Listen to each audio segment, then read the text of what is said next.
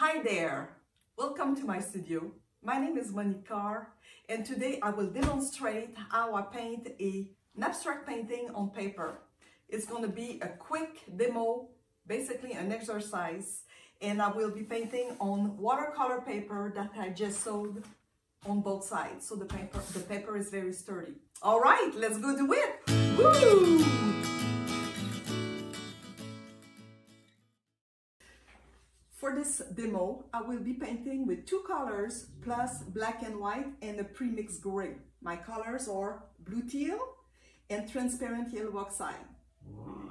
The purpose of this exercise is to be very energetic, to be spontaneous, and most of all, have fun. So we have to do it really quickly and be fearless. All right, let's do it.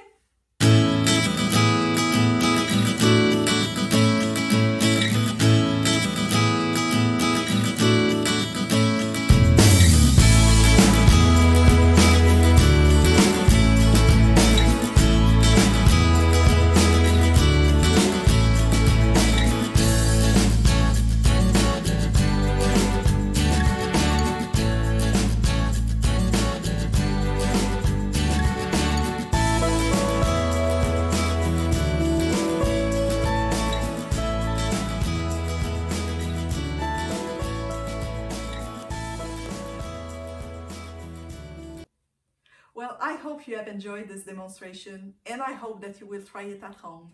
If you do a lot of these fast paintings, you will develop good skills, you will get looser, you and you will have fun doing it, I promise. So I hope to see you again next time in my next demonstration.